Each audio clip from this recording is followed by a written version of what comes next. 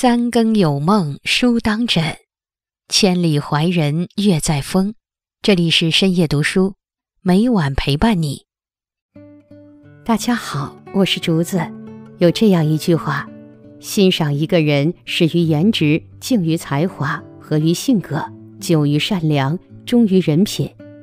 是啊，我们和一个人一开始的认识是从颜值开始的，也就是说。一开始，别人看到你的时候，都是先看到你的颜值，然后根据你的颜值选择要不要和你深入的认识。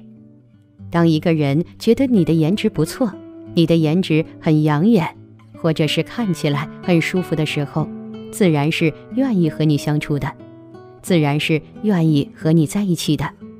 但若是你的颜值不够好，那么有很多人是排斥和你在一起的。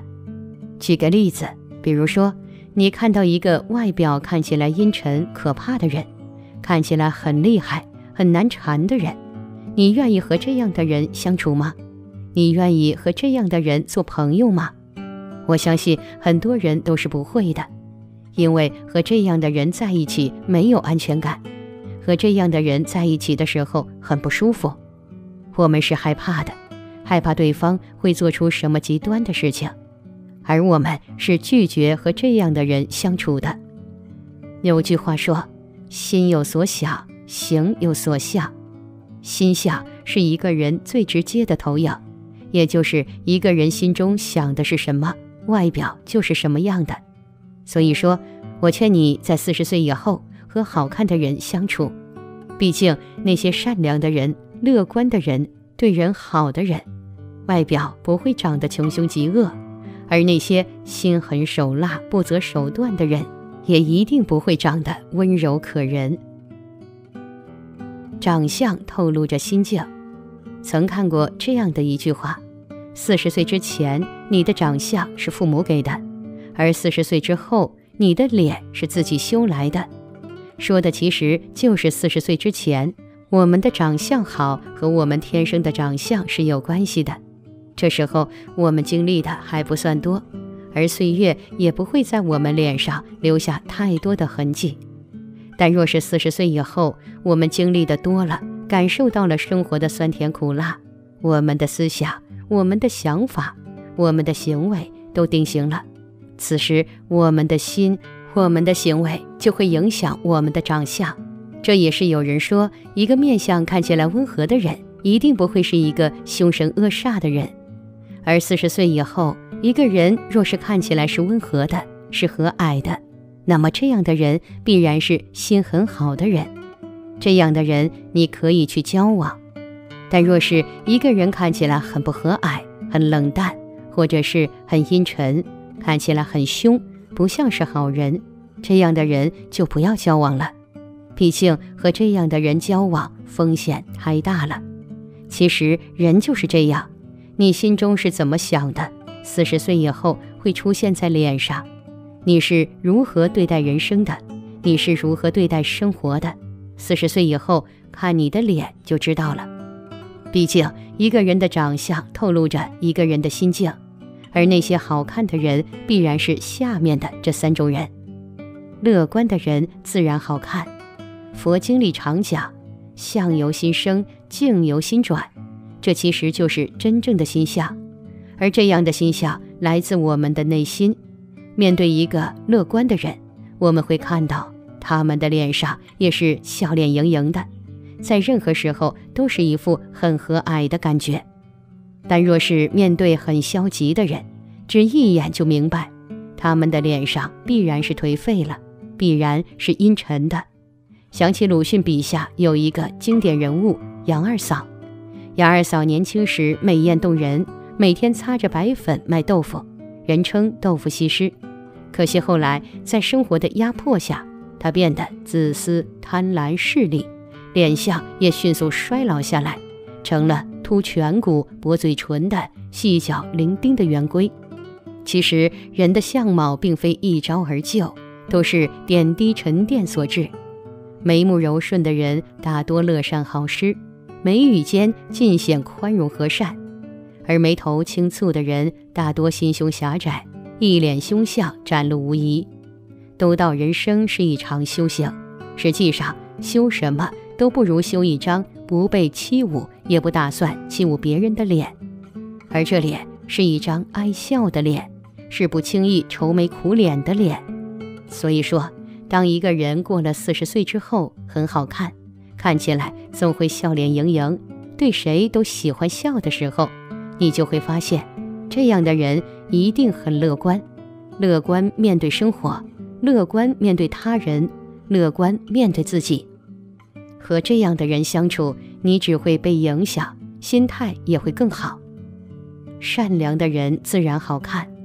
清朝藏书家温儒士少年时期就珠玑迭出，他想着只要自己勤奋苦干，就一定前途无量。一天在路上巧遇一个相师，相师仔细打量他一番，摇头叹气。大人这一生最多做到四品官，温儒士深感失望。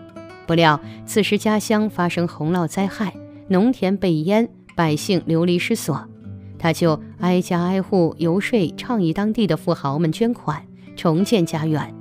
日后又遇此相师，相师见了他大惊失色，忙着作揖行礼，感叹道：“大人一定中了许多福德。”不然，面相和骨骼怎么改变许多呢？大人以后至少能升到二品官。说来也巧，温儒士一生积善行德，职位也升得越来越快，最后还做了嘉庆皇帝的老师。由此可见，当四十岁以后，一个人还依然善良的时候，我们会发现这样的人很好看，他们的脸上总是很温柔，总是很和蔼。和他们在一起的时候，你会觉得很温馨、很温暖、很安心，因为这样的人很善良，他们对谁都很好，谁都很在乎，而这样的人总是舍不得伤害一个人，舍不得伤害一种动物。这样的人不管说话或者是做事，都透露着一种温和。我们和这样的人在一起，也会被影响，成为一个很善良的人。大度的人自然好看，不知道你有没有观察过，那些小气的人一般过了四十岁以后就会变得尖嘴猴腮，而那些大度的人四十岁以后依然很温和、很和蔼，让人看起来很温柔。面对这样的人，我们会发现自己很舒服。我们和这样的人在一起的时候，没有任何的压力。重要的是，我们也会被他们的好心态所感染，会被他们的好心态所影响，成为一个大度的人，不会斤斤计较，不会纠缠不休。这样的人，从脸上看一眼就能看到格局。总结：有的人随着年龄的增长，反而看起来比年轻时还漂亮，与其交往，也往往会感觉如沐春风。有些人在年轻时极其漂亮，可是随着岁月的消逝，却变得几乎面目全非。虽然谁都绕不过岁月那道坎，但是不同的人给人的感觉也是千差万别的。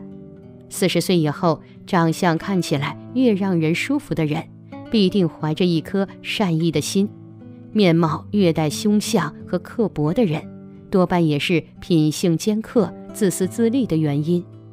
一个人的内心经年累月，最终是会真实的反映到外貌之上的。心恶则貌丑，心善则貌美，是美是丑，皆是灵魂真实的反应。